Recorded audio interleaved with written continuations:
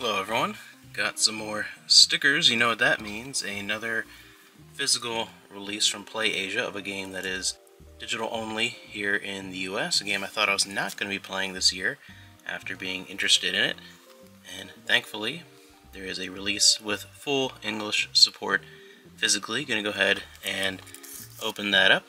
We have Infinity Strash, Dragon Quest, The Adventure of Dai, and I know this game has not been getting the greatest of reviews, but they're about where I thought they would be, and I think it depends what you are expecting going into this game. And for me, I really like Dragon Quest, but I've never seen this anime or read the manga or anything, so all the, the focus on a lot of the story recap, which I think takes up a lot of the time from some of the reviews I've read, will actually be good for me because I've never experienced the anime, and especially because this is not even you know full. It's not a sixty dollar release or anything.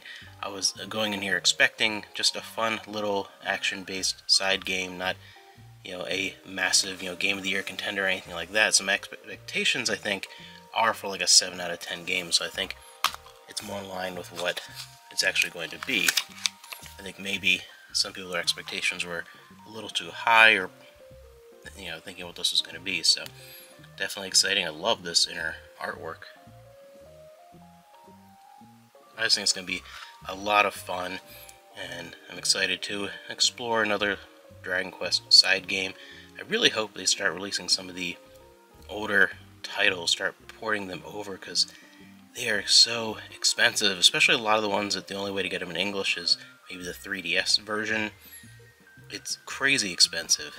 So hopefully this sells well. I know it didn't really sell well in Japan, but hopefully there's a, a big import scene and people you know, like it for what it is. I'm going to give it a try and I'll be back here talking about this game after I give it a go.